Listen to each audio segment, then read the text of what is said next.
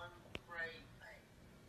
And we are all so proud of you. And your little sister is so lucky to have someone like you. I mean, you're just such a brave little kid. It's amazing what you did, mate. You should be so proud of yourself. Who's your favourite Avenger? Well, who, who, who, who are you watching? Spider-Man. that would be correct.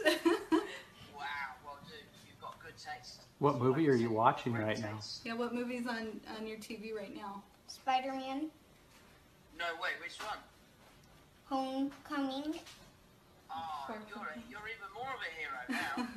what? Which one do you prefer? Do you prefer the first one or the second one? second. Oh, well, that's always a good goal for us is to try and make the second one better than the first one. We're going to be shooting Spider-Man 3, and if you ever want to come to set and hang out see the Spider-Man suit up close and hang out with us, you're always welcome. You'll always be my guest. You That's can okay. go see the Make a Spider-Man movie. He just invited you. For real, bud.